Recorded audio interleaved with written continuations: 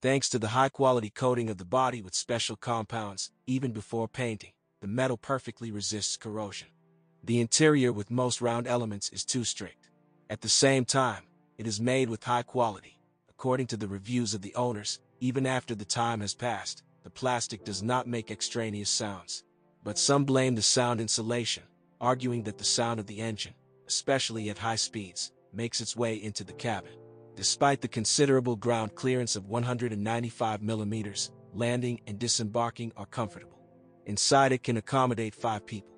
Visibility from the driver's seat is good, and the pillars of the body do not block visibility. Engine. All Outlanders are equipped with gasoline powertrains. The most widely used engines are 2.0 liters and 2.4 liters. The latter is more common, the charged turbo versions with the turbo engine from Lancer Evolution with a volume of 2.0 liters, 240 horsepower, are rarely seen.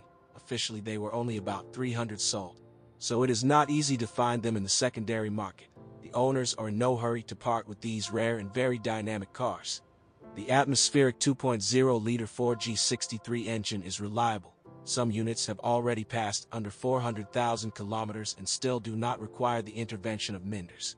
Moreover, the Kopec piece is not particularly demanding on the brand of gasoline and perfectly digests the A92. The gas distribution mechanism is equipped with trouble-free hydraulic lifters. The only drawback is twitching at the beginning of the movement and when shifting gears in a cold state, especially in the cold season. However, experts say that this is not a problem, just the engine should first be warmed up and only then start moving. The more modern 2.4-liter 4G69 engine is equipped with a proprietary MIVEC valve timing and valve lift mechanism, individual ignition coils, and an electric throttle. However, it has many shortcomings. One of the main ones is gluttony. In the urban cycle, it easily consumes 14 to 17 liters per 100 kilometers. At the same time, it is very sensitive to fuel quality. The use of low-octane gasoline, below 95th, can lead to engine failure. Detonation that occurs during long driving destroys the partitions between the piston crown and the upper compression ring. In addition, poor quality fuel causes an increase in the temperature regime of the catalysts. As a result, its cells melt and collapse, and their particles can get into the cylinders and cause scoring or intense wear of the CPG parts. Some owners, in order to save money, install gas equipment. When driving on liquefied gas, Minders advise reducing the interval for adjusting valve clearances to 20 to 40,000 kilometers. Otherwise, due to wear of the valve seats and a decrease in thermal clearances, the compression in the cylinders decreases, which is manifested by a noticeable decrease in thrust. Eventually, the valves can burn out. The 2.4-liter engine has proven itself to be very voracious and fastidious. Also noted was the failure of the pressure sensor in the air conditioning system, power of which is tied together with the power supply of the potentiometer of the electronic gas pedal, 2.4L4G69.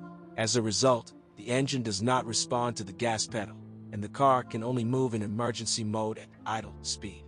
The timing of all units is driven by a belt, which must be changed every 80,000 kilometers along with the rollers. At the same time, a new balancer shaft drive belt should also be installed. But the pump of the cooling system, driven by the timing belt, does not require mandatory replacement. It can last two belt service lives. Transmission. Unlike competitors, Outlander has permanent all-wheel drive, which provides it with good stability and predictable behavior on the road.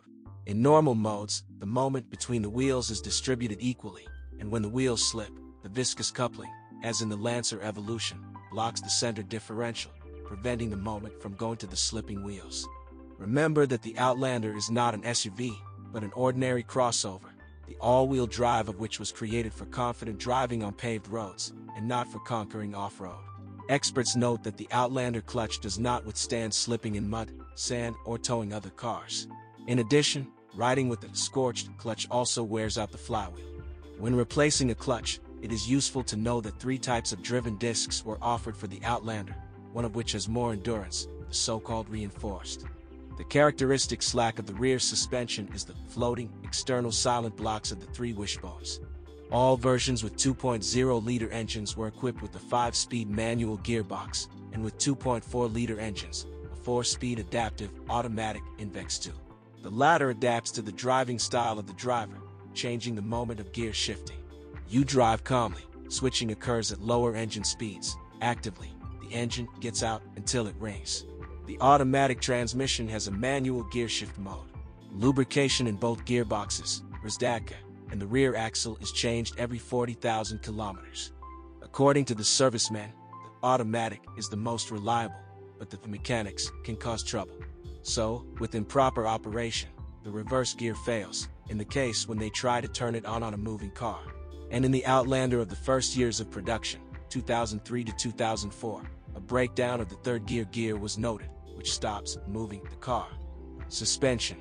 Moderately energy-intensive independent front and rear suspensions of the Outlander provide a comfortable ride over pits and bumps. It is softer than that of the Air to the XL and some competitors. But with active driving, unpleasant rolls occur. McPherson is used in front of the suspension, and a multi-link is used in the back. The least, about 70,000 kilometers, on our roads are the front stabilizer bushings. Rear bushings can last up to 90,000 kilometers. Racks of stabilizers go 100 to 150,000 kilometers. Ball bearings of the front levers can run about 100,000 kilometers. Silent blocks, even longer. In the rear suspension, over time, moisture and dirt get under the floating outer silent blocks of the three wishbones, and the rubber bands begin to creak unpleasantly and then become unusable. As a result, the wheel alignment angles are violated. In cars after 2005, silent blocks were modernized, ordinary ones were used instead of floating ones, and the problem disappeared.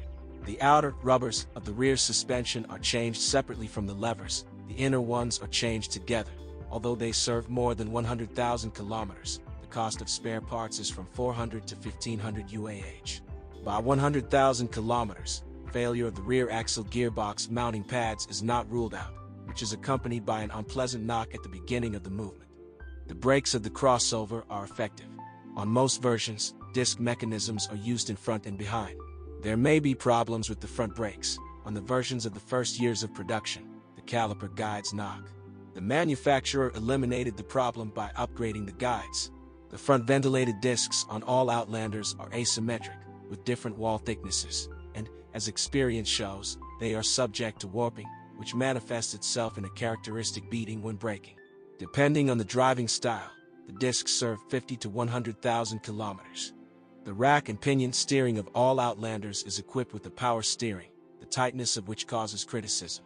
Problem areas are a radiator for cooling the working fluid, made in the form of an aluminum tube. At the point of attachment with a metal clamp, it is wiped over time, as well as a high-pressure hose, liquid leaks at the place where the tube is rolled. On our roads, steering rods serve 60 to 80,000 kilometers, tips even longer.